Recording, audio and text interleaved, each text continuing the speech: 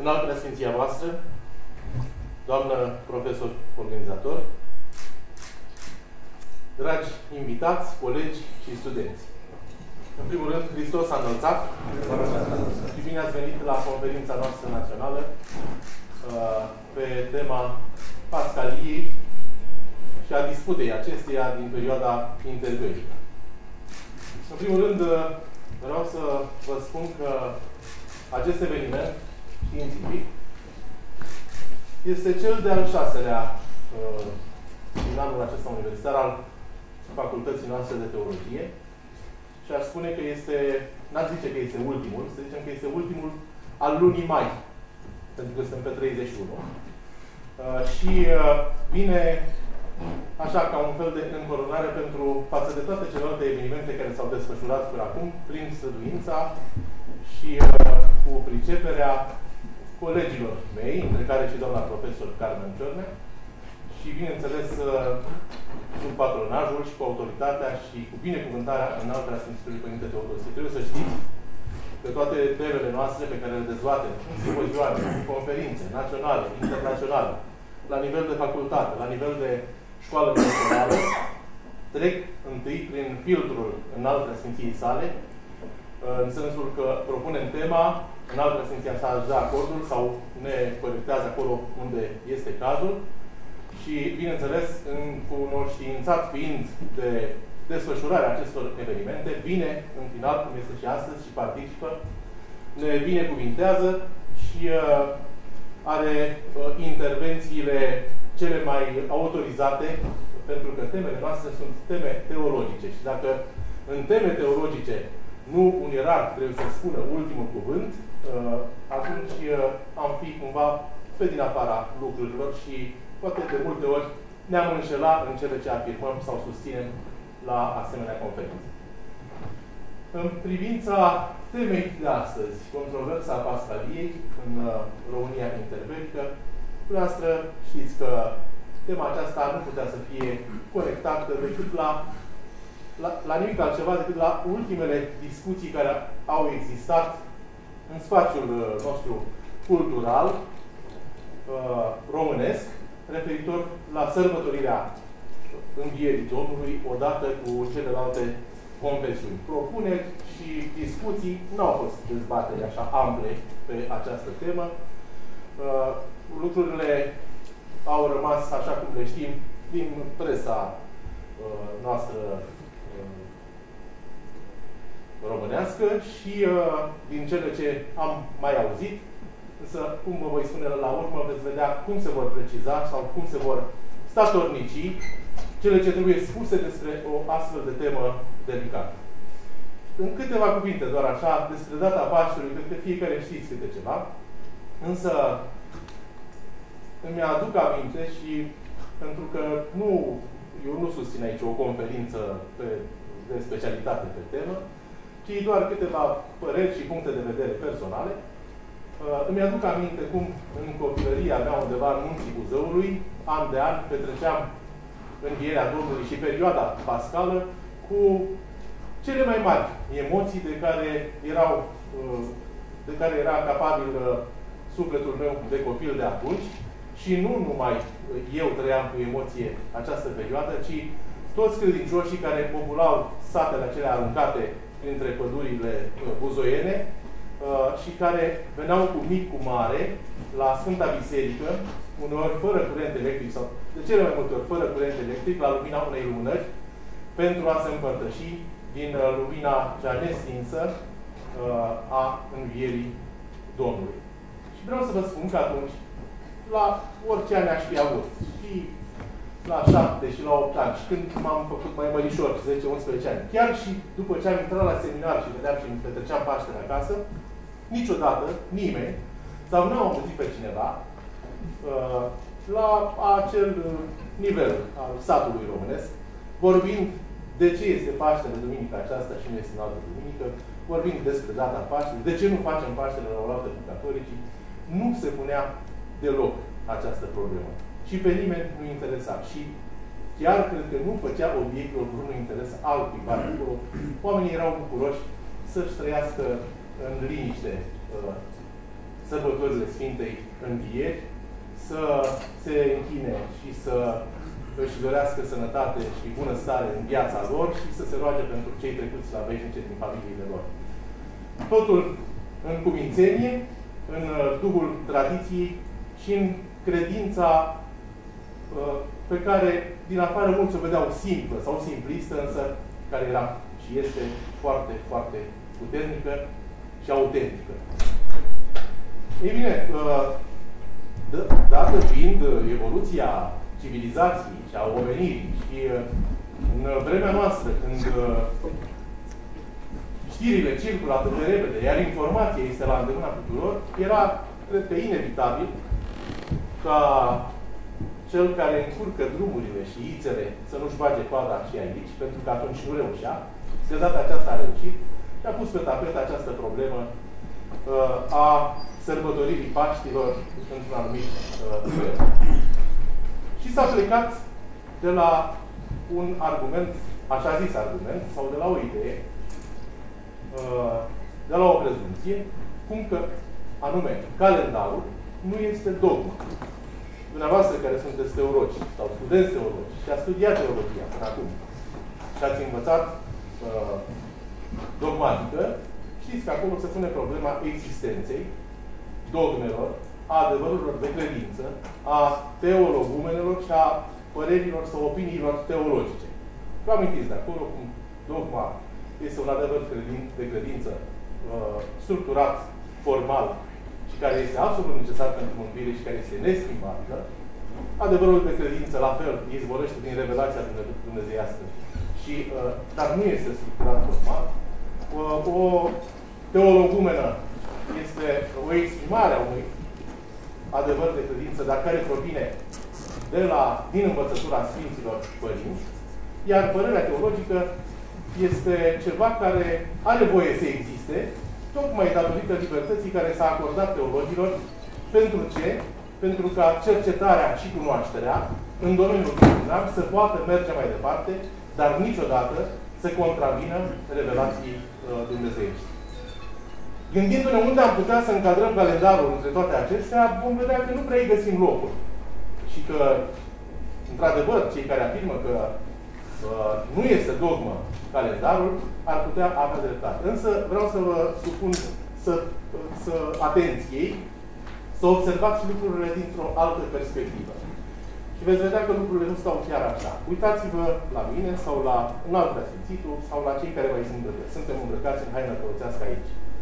Dacă eu aș nesocoti haina care este pe mine, uh, reverenda, și crucea pe care o pot la gât, ca însemne preoțești, nu să le nesocotesc în sensul să le desfințez, să le modific cumva, sau să nu le acord cinste deosebită aceste haine care sunt socotite chiar mai presus decât uh, îmbrăcămintea împărătească sau regească, sunteți de acord cu mine că m-aș situa pe o poziție absolut uh, uh, greșită. Aș uh, separa cumva însemnătatea acestor lucruri uh, atât de importante de uh, fundamentul de credință al Bisericii exprimat în dogme și prin adevărul uh, de credință. De aceea este nepotrivit să separăm lucrurile în așa fel încât, s-a spus de multe ori că între canoanele bisericești există canoane dogmatice și canoane administrative. Cred că este nepotrivit ca să separăm ceea ce este dogmatic de ceea ce este administrativ, atâta timp cât uh, viața și experiența Bisericii uh, apostolice a lui Hristos se bazează, la urmă urmei, pe adevărul de credință și pe uh, dogme. Totul izvorește de acolo. Și o să vă dau un exemplu. Gândiți-vă ce spuneau iconoclaștii despre icoane, că ar fi doar bucăți de lemn și culorile pe care sunt așternute pe acea bucată de lemn nu ar însemna nimic. Ei bine, noi știm că în momentul când acea bucată de lemn, de orice lemn, cel mai ieftin lemn, este pictată și este sfințită, ea nu mai este o simplă bucată de lemn. Devine locul unei prezențe halice. Este cu totul și totul altceva. Dacă acea bucată de lemn dinainte o puteam arde, o icoană, dacă nu-ți bine să arzi, chiar dacă ești necredincios. Mai bine o duci undeva sau o pui la un loc unde nu te mai interesează, ca necredincios, dar nu o faci pe foc. Asta înseamnă că ea reprezintă, într-adevăr, ceva. La fel, este cu calendarul. Și aici vreau să vă spun. Dacă un calendar în care sunt trecute zilele, săptămâni, lunile, uh, cu denumirile lor uh, populare, cu fazele lunii și fazele solare, echinocțiul și așa mai departe, acela, da, este un calendar fără nicio legătură cu credința ortodoxă, uh, nicio legătură cu dogmele noastre ortodoxe. Însă, în momentul în care acest calendar îl populăm cu sărbătorile noastre, care sunt atât de însemnate și care sunt încărcate de atâtea semnificații, cu sfinții uh, de mai de mult sau mai recenți față de care avem atâta evlavie și pe care îi socotim modele ale vieților noastre, putem să mai spunem noi că acest calendar nu are legătură cu viața bisericii, cu dogmele, cu adevărurile de credință, nici de cum. Și dacă nu pot fi schimbate lucruri în uh, biserică, pentru că noi trebuie să respectăm tradiția. De multe ori s-a discutat, de exemplu, despre simplificarea slujbelor sau despre simplificarea veșmintelor roțești, care sunt uneori prea încărcate. Și nu s-a făcut nimic și nici nu se va face nimic. Pentru că de asta Biserica este o instituție atât de perpetuă și atât de stabilă de două milenii, față de gândiți-vă la orice altă instituție de pe acest pământ făcută de om. Tocmai pentru păstrarea tradiției neștirbită, din care face parte și calendarul. Uh, a schimba ceva la calendar, până la urmă, uh, nu stă în putința cuiva.